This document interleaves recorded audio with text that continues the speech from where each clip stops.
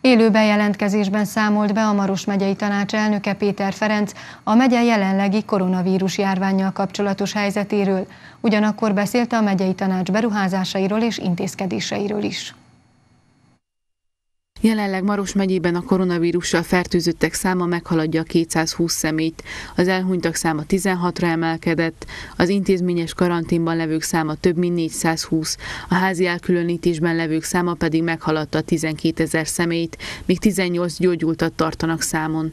Maros megyében eddig 11 egészségügyi alkalmazottról derült ki, hogy koronavírusos. A megyei kórházakban ez idáig 189 beutalt személynél igazolódott be a fertőzés, de a Gyorgé Marinescu utca egy szám alatti kórházban, sem a többi klinikán nincs még túlterheltség. A kórház vásárlással és adományokkal folyamatosan bővíti védőeszköz készletét, így jelenleg abból nincsen hiány, ahogy a gyógyszerekből sem.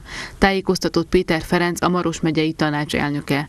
Hozzátette, hogy az orvosi egyetem sportcsarnokában kialakított mobil kórház mellett a tanács azt javasolta, hogy épüljön egy intenzív terápiás részleg a helyi fertőző klinika udvarára, amelyre egyelőre még nem kaptak választ.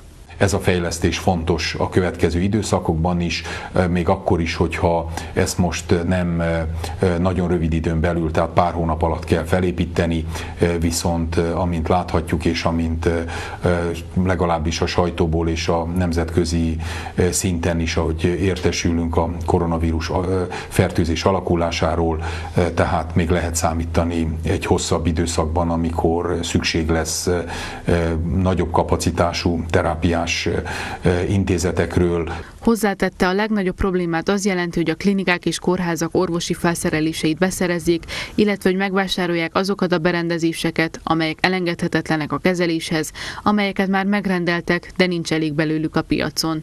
A Maros megyei tanács kiegészítésként a védekezés hatékonyságának növelése érdekében a megyei kórház intenzív terápiás osztályán, a tüdőklinikán, a sebészeten, a belgyógyászaton, valamint az urológia osztályokon dolgozó 150 orvos és ápoló elszállásolását és a legújabb rendelet szerint napi háromszori étkeztetését biztosítja.